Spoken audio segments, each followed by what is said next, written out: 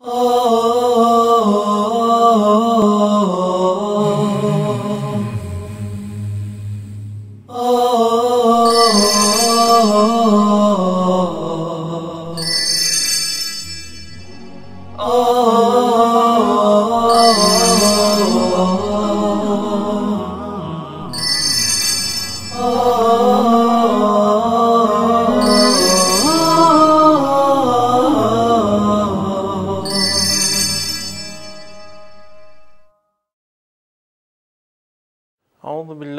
الشيطان الرجيم بسم الله الرحمن الرحيم وصلى الله على محمد وآل بيته الطيبين الطاهرين المعصومين Dear brothers and sisters, we have been elaborating on the rules of the obligatory baths or the obligatory ghusl. Of course, we have explained some of the rules and there are some other rules left to be explained in this session. The first question in regard to the a person to who is in the state of ritual impurity, regardless of whether that person is a woman or a man, whether he or she is in the state of janaba or maybe in the state of any other ritual impurity uh, it is, of course, necessary for him to know that there are certain makruh acts, certain abominable or undesirable or re- reprehensible acts that he may not do. Of course, if he does them, if he commits them, he has committed an abominable act, an undesirable act. He will not be punished, he will not be reprehended for doing that act. There are some nine uh, things which are makruh for a person in the state of, let's say, janab. Uh, the first one is to eat. The second one is to drink. The third one is to recite. From the Holy Quran, more than seven verses. As I mentioned in the previous lecture, reciting more than seven verses uh, from the Holy Quran does not mean that the person who recites does not earn any reward, does not get any reward or any sawab for reciting the Quran. He will get the sawab, but he will get less sawab. He will get less reward for reciting the Quran. And of course, as I mentioned in the previous session, it is haram for him or for a woman in the state of ritual impurity to recite those verses or those surahs of the Quran which contain an obligatory sajda. Of course, depending on the mujtahid you follow, you have to be careful. And for those who want to exercise precaution, it's better for him not to recite the whole surah because there are certain scholars, certain mujtahid who consider reciting the whole surah as abomin, as haram, as forbidden. But okay, there are some other scholars who do not consider reciting the whole surahs as forbidden. Only the verse or those verses, four verses, which contain the obligatory sajdas should not be recited by a person in the state of janaba. Now the fourth, the fourth makruh act is to touch the cover, the margin, and the sides of the Quran.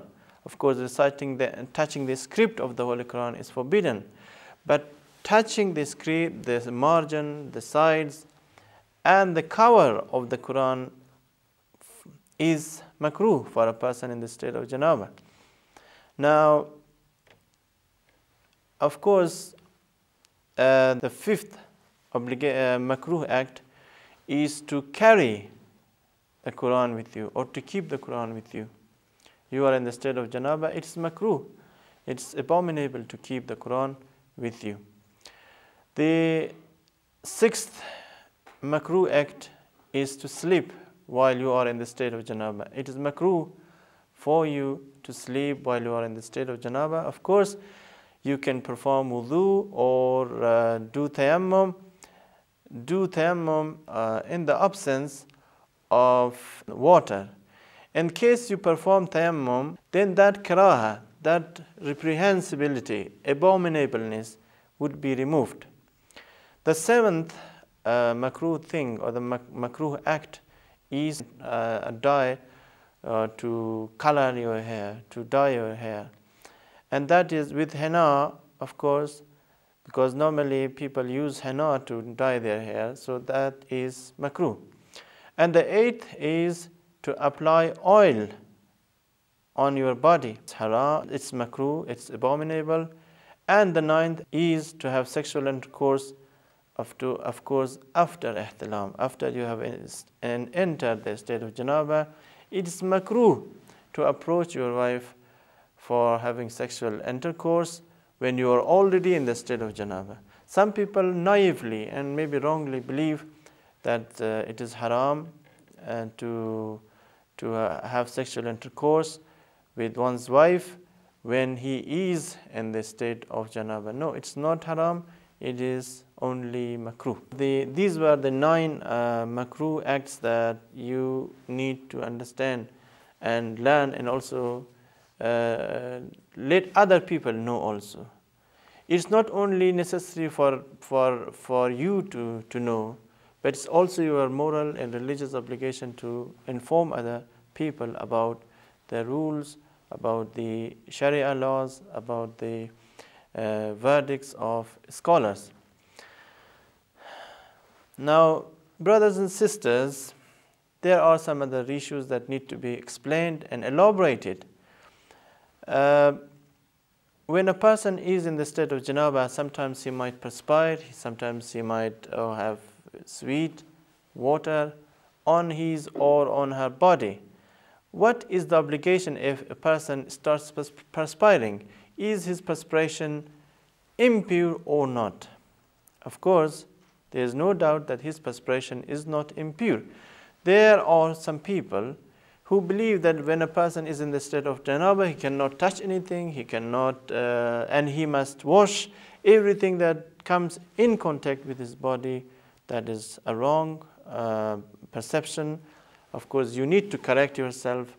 Uh, nothing becomes impure, nothing becomes najis, insofar as it has not come directly in contact with the essential impurity, with the essential impurity, like semen, like urine. If your body, if your dress, if your garment, if your bed sheet has not come in contact with semen, then it's not necessary to wash it. It's not necessary to change it, to replace it, of course, then that has to be clear. As I have mentioned in the previous session, of course, Janabat and the, the uh, ghusl for Janabat becomes obligatory only for certain acts, like obligatory prayers, like entering the um, entering Masjid al-Haram and Masjid al-Nabi, and for and also uh, going to a local mosque and placing and halting, placing something there, picking something from the mosque or halting there, staying there. Of course, a person in the state of janaba cannot do these things. So, in order for him to be able and to be allowed to do such things, he must, of course, he must purify himself, he must perform ghusl janaba. And uh, of course, ghusl janaba is not necessary for, for the prayer which is offered on a dead body. It is uh, not necessary. A person in the state of janaba can still offer prayers and there would be no objection. Of course, ghusl janaba is also obligatory for the for sajda sahw. If you are reciting sajda, the obligatory sajda, or the obligatory part of a prayer that is left out, then it is necessary to be in the state of ritual impurity. And whenever you are doing ghusl janaba, it is necessary that you have to do it, that you should perform the ghusl, the whole procedure, the whole uh, actually ablution with the intention of qurba, with the intention of complying God's order and seeking nearness to, to God. No religious act is accepted unless it is accompanied with the niyyah of qurba, with the intention of seeking nearness to God, and with the intention of complying God's order. Now, there is another question regarding ghusl. There are two methods of performing ghusl. One is the, of course, the tartibi sequential ghusl, and the other is irtimasi, which is done by submerging your whole body under water. Now, it's important to learn to know these two methods of performing ghusl. The sequential ghusl is, of course, is clear. You know that you need to wash your head and neck first of all.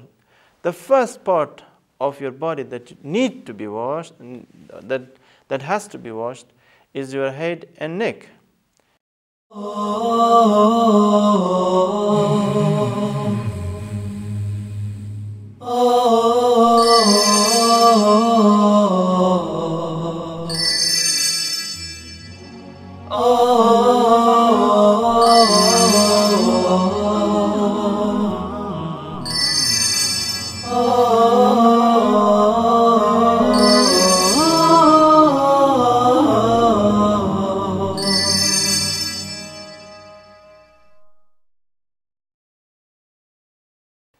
start washing the head and neck with the niyat of qurba. And then you have to wash the right side of your body, beginning from the shoulder down to the tip of your toes.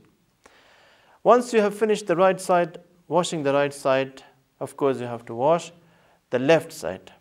And, in, and as a measure of precaution, it is better, it's better to wash some portion of the other side to include a part or a portion of the other side of the body to make sure that no part of your body is left out dry or left dry. This is the tartibi, the sequential ghusl that is easy to be done and I think there is no doubt about it. Now there are some scholars who, who believe that it is not necessary to begin washing the, the right side and then the left side. Of course, it's recommended, it's better to wash, to begin washing your body uh, with the right side and then finish the ghusl washing the left side. But if you wash the whole body and a single go all at once, of course, then your ghusl would be in order according to the fatwa and verdicts of some scholars. There is no objection, no problem in washing the whole body at once.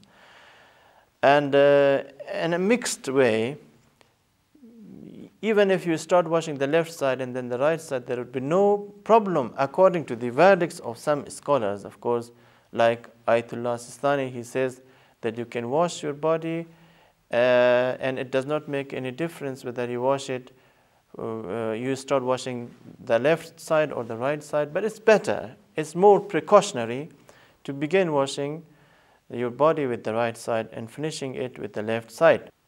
Now, dear brothers and sisters, if a person forgetfully washes, for example, the left side before the right side, uh, it's not necessary to repeat the ghusl and do it all over again or to start doing, performing the ghusl from the beginning. You can wash, of course, the, for example, if you, if you have, if a part of the left right side of your body is left dry and you are already busy washing the right side, the left side, it's not necessary to go back and start washing your head and neck. You can wash the, the right side and then the, the left side. Now, if you have completed the ghusl, you have completed it, and you've gone out of the bathroom, all of a sudden you remember that a part of your body was left dry. You notice that part of the body was left dry. For example, there was an impediment or an, uh, some kind of barrier on your body. You did not know that there was a barrier preventing water from reaching the skin. So you just noticed when you had completed the ghusl and you were out of bathroom. Now, is it necessary bathroom, uh, wash your body all over again and to do redo the ghusl, or you can just, of course, wash only that part of the body which was left dry. Of course, the second option is correct. You need to wash only that part of your body which was left dry. It's not necessary to repeat the ghusl. Now, unlike wuzu, which had to be done successively and without any interval between the parts, in ghusl it's not necessary. If there is an interval between the parts of, of the body which is washed, there is no problem. You can wash your head and neck, and then after an hour, for example, or after two hours, you can wash the right side of your body. After another hour, you can wash the left side of your body. So, of course, the delay will not affect, it will not harm the wudu. As far as the irtimasi type of ghusl is concerned, I said that the second method of ghusl is to submerge your body underwater. Now, sub submerging underwater uh, can be done in two ways. It can be done gradually, and of course, it can be done in an instant. For example, you, you go to a swimming pool and you are standing by the swimming pool, near the swimming pool, and all of a sudden you dive into the swimming pool with the intention of doing an irtimasi ghusl. That is correct. And maybe you might be standing in the, in the swimming pool with your head or your body, part of your body outside the water. Again, you can, you can submerge yourself underwater with the intention of ghusl, and that would be also correct. You can also do the same. For example, you can, you can uh, submerge your head and neck underwater once, and then the right side of your body the next time, and then the th right, the left side of your body, then the third time. This is also correct. There is no harm, there is no problem, there is no objection in doing this. This is called the gradual uh, way of submerging your body underwater. This kind of ghusl is called ghusl irtimasi because you submerge your body underwater without pouring water on your body. Unlike wudu, which required the person to make sure that the parts of bo uh, his body that was, was supposed to be washed should be clean. Unlike wudu, in ghusl it's not necessary to purify your body before doing the ghusl. Maybe your body can be, you, your body might be unclean, it might be najis, and that will not affect the validity of ghusl. You can perform ghusl, and meanwhile, while doing ghusl, you can wash yourself, you can make yourself clean if your body had been uh, wet, uh, had been impure, had been ritually unclean. Now, some people ask question about nail polish. Some women, they have nails, they have nail polish on their toes and on their uh, hand nails, on their fingers. What is the Islamic law about the nail polish? Should it be removed before ghusl or not? Of course, there's no doubt that the nail polish must be removed because it forms a barrier, it forms an obstruction, and that obstruction means that the water does not reach the nail plates, so it has to be removed. But in wuzu, of course, it's not necessary to remove the polish from your toes. If one toe is left without polish, that would be okay. You can wipe uh, on that toe. But in ghusl, the entire nail polish has to be removed.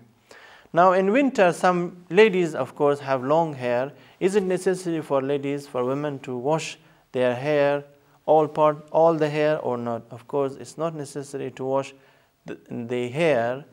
If you have very short hair, it's necessary to wash the, the hair. But if you have very long hair, then it's not necessary to wash the hair, the entire uh, hair. You can leave it dry and that will not affect your ghusl.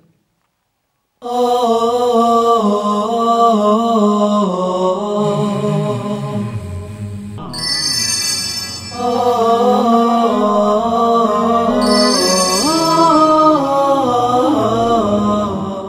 brothers and sisters, while performing ghusl, you might need to release yourself or to ease yourself and uh, to urinate or to pass wind. Does urinating or passing wind invalidate ghusl or not? Of course, passing wind will not invalidate ghusl. In the same way, urinating will not invalidate ghusl. What has to be taken into consideration is that you cannot offer prayers with the ghusl you performed. You have to wait until your hair dries and your feet are dry. Then you have to make wudu. Because as we said, ghusl is sufficient for wudu. But when you pass wind in the middle of performing ghusl, then of course ghusl would be counted. But it will not suffice for wudu. The next question is that a person who has to do more than one ghusl, for example, there is a woman who has been in the state of haiz, in the state of menstrual blood, in the state of maybe istihada. She might have touched a dead body. She might have uh, made a vow to perform ghusl and she might have been at the same time in the state of janaba. If a person is under the obligation to perform different ghusl, as I mentioned, it is sufficient for her to perform one ghusl with the intention of all of them. Okay. If he does not make such an intention, if he forgets to make the intention, for example, he forgets to make to consider that ghusl as a ghusl for all those obligatory major ablutions, would it suffice for the other ghusl or not? Of course, it will suffice because what is necessary is to achieve ritual purity, ritual tahara, to become clean.